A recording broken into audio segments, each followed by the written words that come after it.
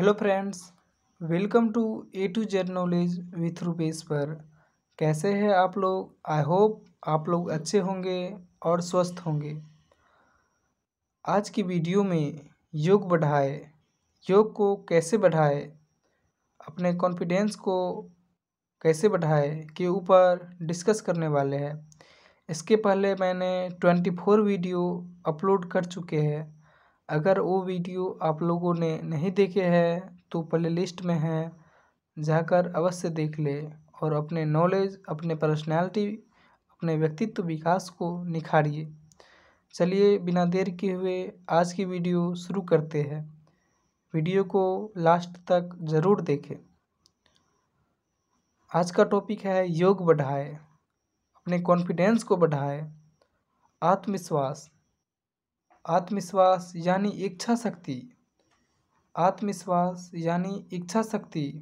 आत्मविश्वास या इच्छा शक्ति व्यक्ति के मनोशारीरिक मापदंड पर निर्भर करती है। आत्मविश्वास या इच्छा शक्ति व्यक्ति के मनोशारीरिक मापदंड पर निर्भर करती है। स्वस्थ मस्तिष्क स्वस्थ मस्तिष्क और स्वस्थ शरीर ही, स्वस्थ मस्तिष्क और स्वस्थ शरीर ही आत्मविश्वास या इच्छा शक्ति बनाए रख सकता है। नित्य योगाभ्यास, रोज़ योगाभ्यास के लिए इच्छा शक्ति की आवश्यकता होती है।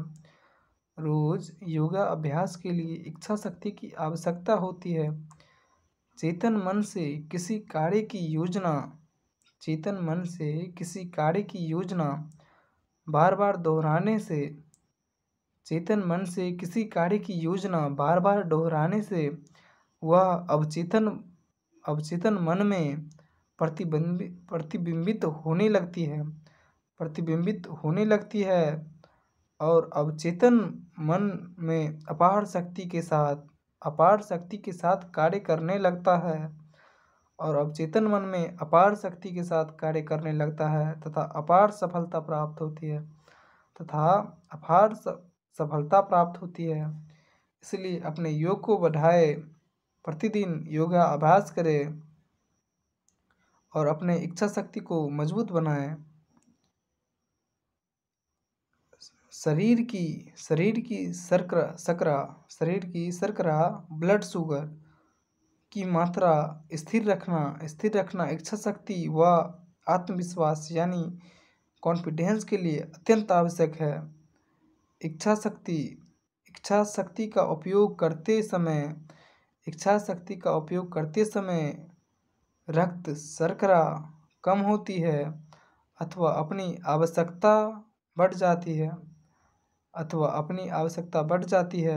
दोपहर का भोजन डालकर कार्यालय में काम करने से शाम तक इच्छा शक्ति का कम हो सकती है, इच्छा शक्ति कम हो सकती है। और अगला टॉपिक है कॉन्फिडेंस बढ़ाने का यह तरीका। अगला टॉपिक है कॉन्फिडेंस बढ़ाने का यह तरीका। तरीकों को अपनाकर अपने कॉन्फिडेंस यानी आत्मविश्वास को बढ़ा सकते हैं। आत्म कॉन्फिडेंस बढ़ाने का यह तरीका यह है कि तुम काम करो जिसे करते हुए डरते हो।